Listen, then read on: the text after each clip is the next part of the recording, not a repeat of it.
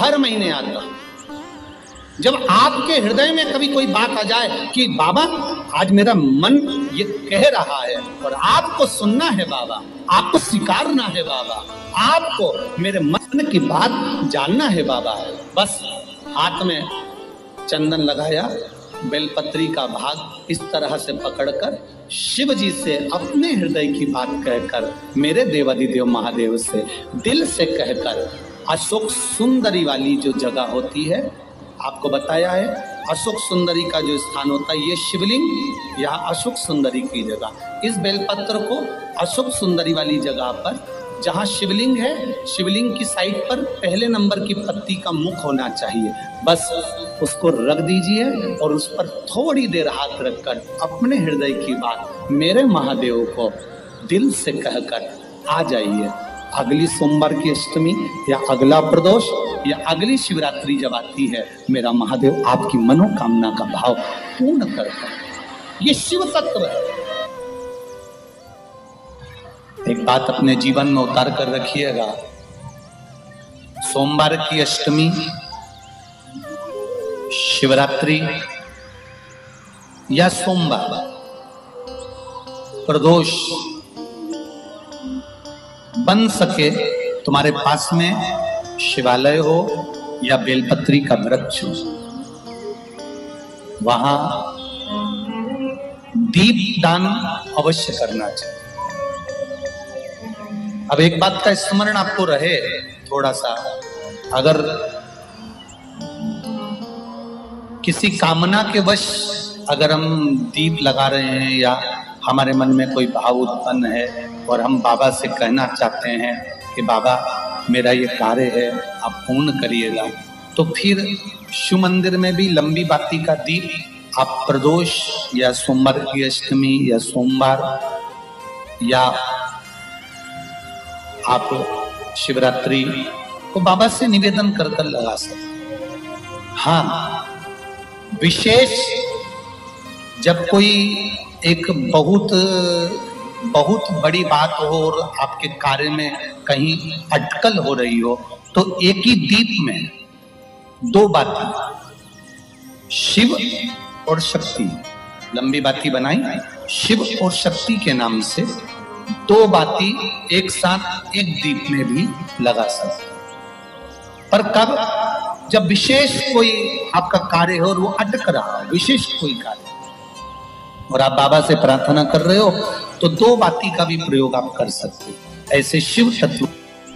शंकर भगवान को धतूरा कब चढ़ाना चाहिए, उसका विशेष ध्यान रखें। जैसे शिवरात्रि है, प्रदोष है, या सोमवार है, या कोई विशेष आपका उत्सव है तो आप शिव जी को धतूरा चढ़ा सकते। या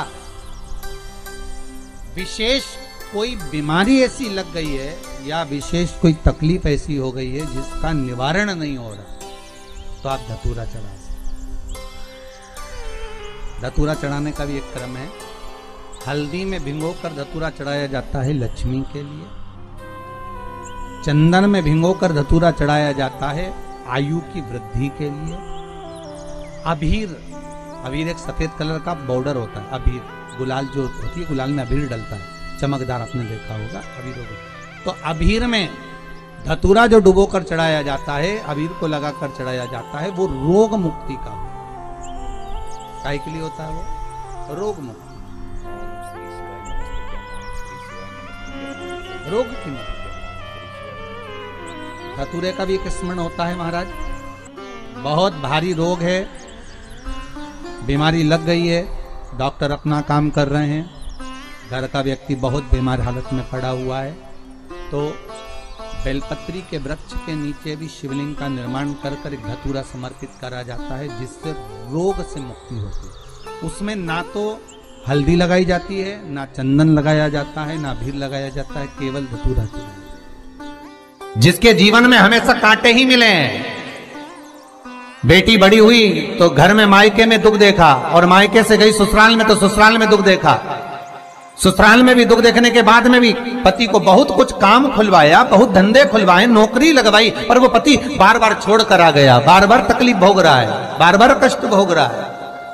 फिर थोड़े दिन काम करता है, थोड़े दिन छूट जाता है, फिर व्यापार में बढ़ता है, फिर छूट जाता है। फिर कोई दुकान खुल गई थोड़े दिन अच्छी चली, फिर वापस वहीं घर पर आकर बैठ गया। अर्थात उसके जीवन में वो शूलता चल रही है।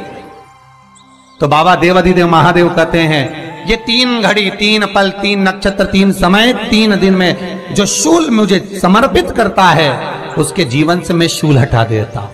वो तीन दिन लिखे स्कंद पुराण।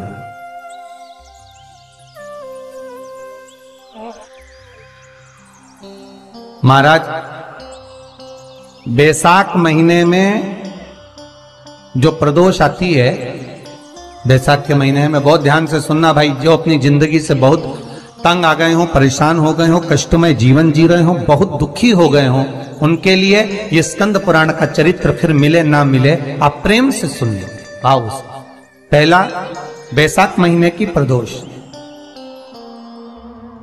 चाहे वो शनिचरी प्रदोष हो, चाहे रविवार की हो, सोमवार की हो, मंगल की हो, बुधवार की हो, गुरुवार की हो, शुक्रवार की हो, शनिवार की हो, कोई भी वार की हो, पर बैसाख महीने की प्रदोष। प्रदोष काल में, शाम का समय। सूर्य डूब रहा हो, बस डूबा ही हो, और उस समय पर सूर्य के डूबन के तुरंत बाद बाबा को धतुर के साथ में बेलपत्री ना चढ़ाते हुए बेलपत्री के वृक्ष के सात कांटे बाबा के शिवलिंग पर समर्पित करे जाते हैं। महाराज अपनी ज़िंदगी में अड़चनों को हटाने के लिए। फिर आप जिस व्यापार में उतरे, जिस व्यवसाय में उतरे, जिस नौकरी में उतरे, आप दिल से करें, आपको तरक्की मिलेगी। आप हार नहीं सकते, नीचे नहीं आ सकते, उन्नति पर ही चढ़ेंगे। एक वैशाख मास की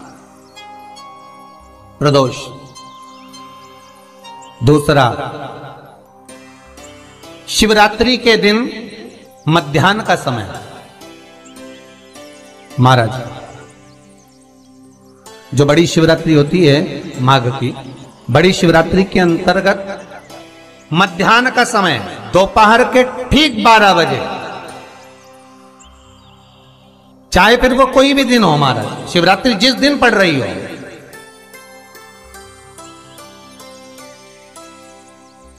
उस दिन भी धतूरे के साथ, बाबा को सात कांटे, बेलपत्री के वृक्ष के समर्पित होते हैं महाराज। इसमें आप ये वाले जो कांटे हैं, जो शिवरात्रि के दोपहर बारह बजे वाले हैं, अगर कोई मदिरा पीने वाला हो, व्यसन में डूबने वाला हो, कोई जुआ खेलने वाला हो, कोई गलत वैश्यावृत्ति करने वाला, या अपने मार्ग से विचलित कोई व्यक्ति है, उसके लिए भी ये कांटे बहुत काम आते हैं दूसरा, पार्वती, तेरे द्वारा तेरे नयन अश्रु से जो प्रगटा हुआ बेल का वृक्ष है द्वितीय शूल मैं वहाँ धारण करता तृतीय शूल, तीसरा शूल जो वर्णन करा गया। महाराज, भगवान श्रावण के महीने में, श्रावण के महीने में जो भी दूसरा सोमवार पड़े जो भी पड़े श्रावण के महीने का जो दूसरा सोमवार होता है, उस दूसरे सोमवार में रात्रि के समय पर, अर्थात शास्त्र अब घड़ी और पल का स्मरण करेंगे तो रात्रि के बजेंगे 10 से 12 बजे मारे 10 से 12 के बीच में।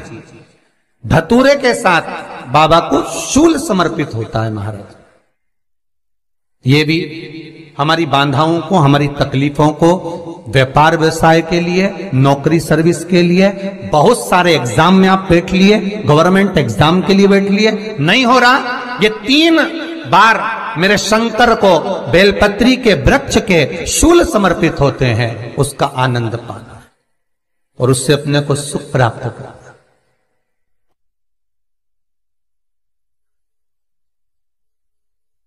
कि बाबा भोलेनाथ जी के नयन अश्रु से जो प्रकट हुआ वो रुद्राक्ष का पौधा है। माता पार्वती के नयन अश्रु से जो प्रकट हुआ वो बेलपत्री का पौधा है। और उमा और महेश, जिस महेश के वंशज है महेश्वरी, जिनकी बारह खाम प्रगति है भगवान महेश के द्वारा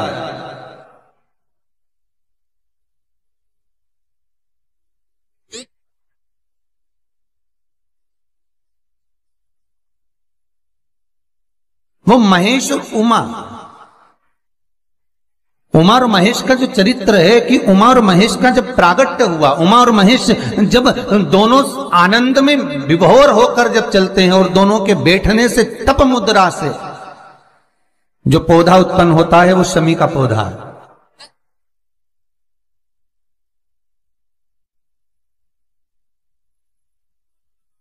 शमी का पौधा। तो एक बात ध्यान रखिए शिव जी के द्वारा जो निर्मित हुआ, उसमें कोई शूल नहीं है, उसमें कोई कांटे नहीं है। पार्वती के द्वारा जो निर्मित हुआ, बेलपत्री का पौधा, उसमें कांटे हैं। और पार्वती के मिलन से भी जो उत्पन्न हुआ है शंकर के साथ में, उसमें भी कांटे हैं। शमी के पौधे में भी कांटे हैं। शमी के वृक्ष में भी कांटे हैं।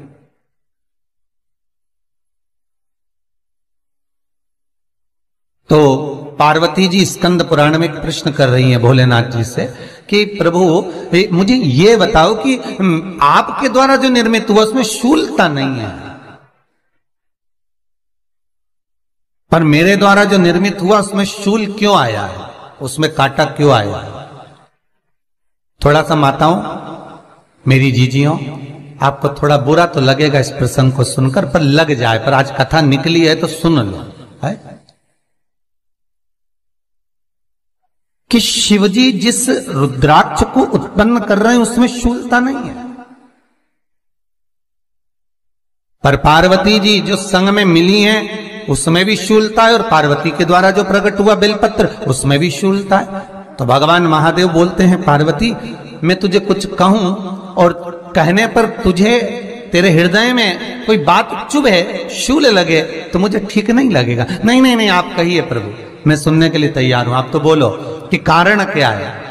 भगवान कहते हैं, पार्वती, बस अंतर इतना है। नारी का जो स्वभाव होता है, स्त्री का जो स्वभाव होता है, उसके हृदय में छोटी छोटी बात के शूल बहुत होते हैं।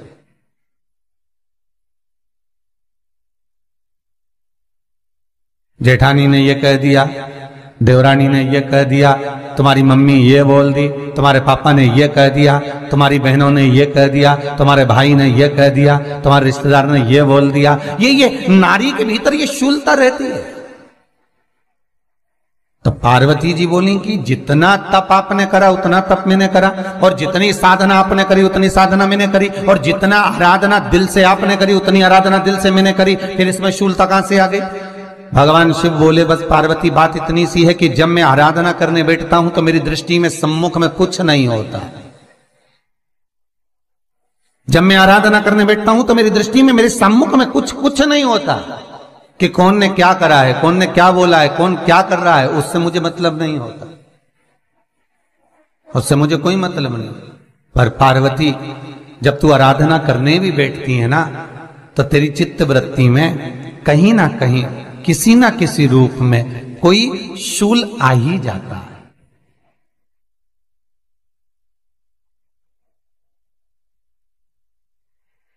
कई माताओं की आदत देखी साहब, भगवान की सेवा करने बैठी है तो भी भीतर थोड़ा सा शूलता भरी हुई है महाराज।